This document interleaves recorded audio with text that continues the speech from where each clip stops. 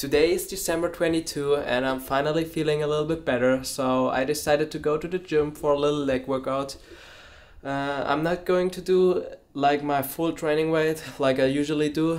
I'm going to do uh, some some reduced weight because I'm still trying to get back in after I was sick for 2 days now. I'm I'm still having issues with my nose, but let's go to the gym.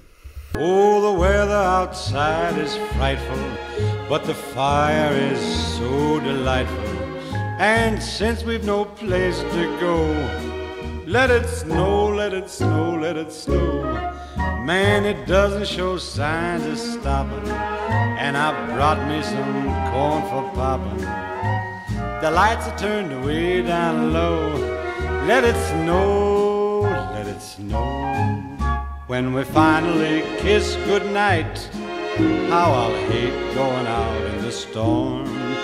But if you really hold me tight, all the way home I'll be warm. And the fire is slowly dying, and my dear, we're still goodbying. But as long as you love me so, let it snow, let it snow and snow.